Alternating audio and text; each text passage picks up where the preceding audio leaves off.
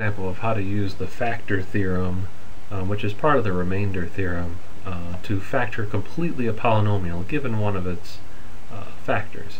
So what we're going to do here is, um, since we know that x minus 2 is a factor of this polynomial, we're going to use the idea that if we synthetically divide by positive 2 through this polynomial, the answer should come up to be 0. And what's left over must be uh, the quotient. So here let's set up a little synthetic division.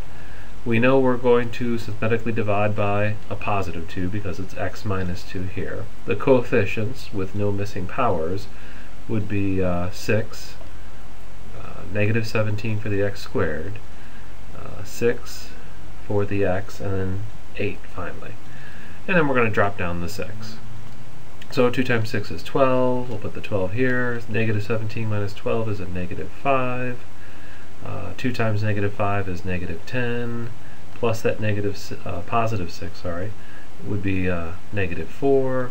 2 times negative 4 is 8, negatively. And when we add those together, we get the answer we were expecting, which is 0. What's nice about this, though, is we're down to three numbers. Um, we started with a cube, so this must be a square. Uh, so when we get down to three numbers, we're dealing with a quadratic. So I'm going to rewrite it as a quadratic, which would be 6x squared minus 5x minus 4. And if all we have to do is, hopefully, factor this polynomial. So to factor this, we're going to multiply the first and the last, which will give us 24. We're looking for factors of 24 that subtract up to a negative 5, which would be 8 and 3. So I'm going to separate this away as uh, 6x squared, it's going to be an 8x, it's going to be a 3x to give us that 5x, and then the minus 4. All we have to do is figure out which sign is which. Since it's a minus 4, there have to be opposite signs. Um, and since it's a negative 5 in the middle, the 8 is going to be the negative, and the 3 is going to be the positive. And then we just go through and group and factor. So we group the first two. Uh, the GCF of the first two is 2x. Left behind is 3x minus 4.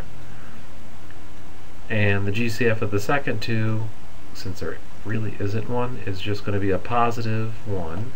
And left behind is 3x minus 4. And then we can factor it completely as 3x minus 4 pulled out. And left behind will be this 2x and the plus 1. We had uh, earlier discussions about factoring, so you might want to look back at how to factor uh, trinomials, especially with non-lead coefficients of 1. Now don't forget, this is not f of x. This is just the factoring of the 6, the negative 5, and the negative 4. Don't forget that x minus 2 is one of the original ones. So we'll just tag that on. And we can say right now that this whole thing, in factored form, is the original function f of x. So we have factored 6x cubed minus 17x squared plus 6x plus 8 into 3x minus 4 times 2x plus 1 times x minus 2. Kind of neat.